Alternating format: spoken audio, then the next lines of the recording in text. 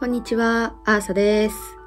ネタバレなしで感想を語っていくシリーズになります。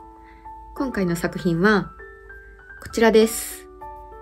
戦場のワルツ。オトメイトから2014年にビータで発売されて、2023年4月13日、ついこの間、スイッチ移植もされた作品です。私はビータ版を持ってたんですけど、なんかずっと積んでて、今回スイッチ版が出るっていうことでね、ちょっと大急ぎでプレイをしました。はい、えお話ですが、とあることから呪われた魔剣を手にした少女が、彫刻家軍事学校ニルバーナに所属することになり、失った居場所を取り戻していくという内容になります。戦場が舞台ってことなんですけど、戦いだけでなくて明るい学園生活のシーンもあったりで、まあ、いろんな系統のお話が楽しめてサクサクプレイすることができました。良かった点合わなかった点ははっきり言うのでご了承ください。大したネタバレはありませんが少しでも嫌な方はご注意ください。それではセンワルについて言いたいことを3つにまとめました。それぞれ順番にお話ししていきたいと思います。一つ目、ファンタジーな騎士道物語。今回の舞台が軍事学校ってことで、戦いがメインのお話になります。登場キャラもそれぞれ武器を持ってて、守るべきもののために戦う姿っていうのがもうまさに騎士様って感じで、すごいかっこいい一面が見られました。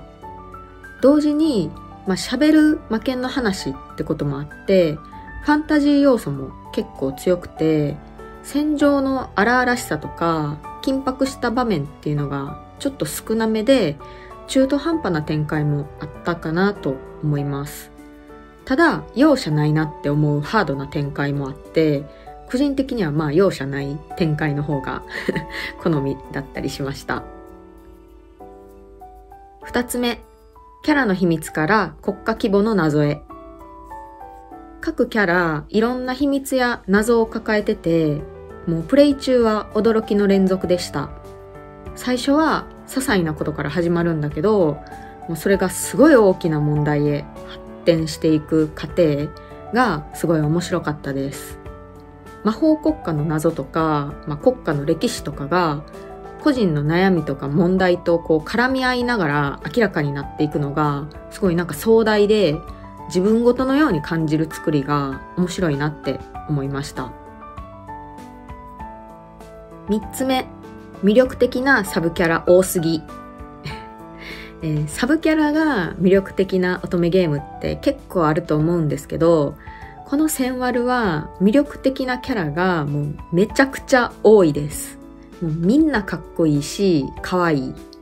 生徒は個人的にもうドンピシャなキャラがいたし、大人のキャラもすごく良くて、なんか各国の王と女王も個性があってね、いいキャラしてます。サブキャラもなんか見せ場があったり、重要な伏線になってたりするので、すごい愛着が湧きました。ここまで深く知れたのに、あ、攻略できないんだ、みたいな。そんなね、気持ちになりました。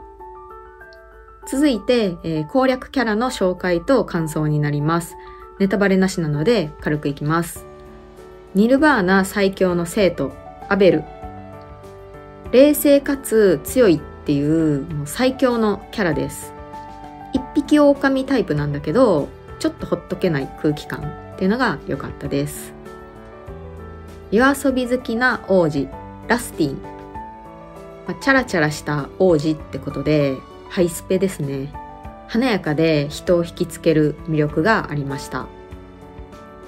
明るいムードメーカー、パシュ。等身大の思春期の少年って感じで可愛いキャラです。ずっと男子校にいた女慣れしてない子みたいな、そんな感じ。戦い嫌いなおとなしい少年、ニケ。この軍事学校に所属しながら、まあ、薬草を積みに行くようなマイペースな子です。ミステリアスさもあって、なんかなんで戦いが嫌いなのにここにいるのかとか、なんか謎を追っていく面白さがあるルートでした。容姿端麗な青年ティファレト。本当に顔面偏差値がえげつない。スチル見るのがもう楽しかったです。生徒とは違う視点で楽しめるキャラになってます魔剣と同じ名前の謎の青年ビルヘルム CV 中村雄一さんってことで乙女ゲームに中村雄一さんって結構レアな気がしますキャラはもう男って感じ。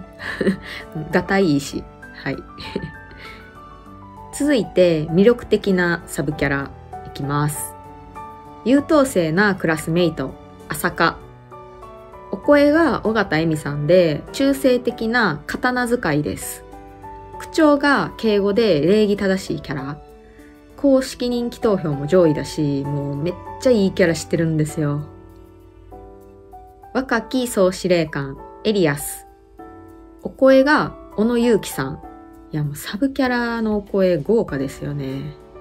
学園の、えー、頼れる大人ポジションで、見た目かっこいいし優しいけど、ちょっと隙もあったりして、でもなんで攻略できないねんって 思いました。それではラスト、ヒロイン、ラン。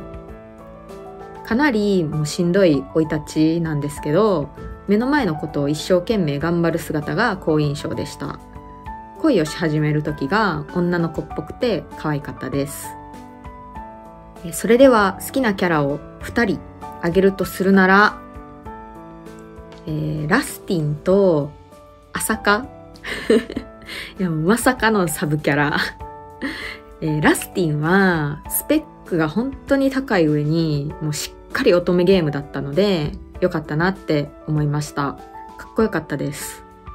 朝香は、なんか最初から見た目結構好きだったんですけど、まあ、ただの真面目ちゃんじゃなくて、ちょっとお茶目だったり、ちょっと変わった性質があったり、なんか心をつかまれる瞬間がもう各ルートにあって、小出しで魅力を出してきて、もう最終的にもうすごい好きって なりました。朝香はね、なぜ攻略対象じゃないのかと。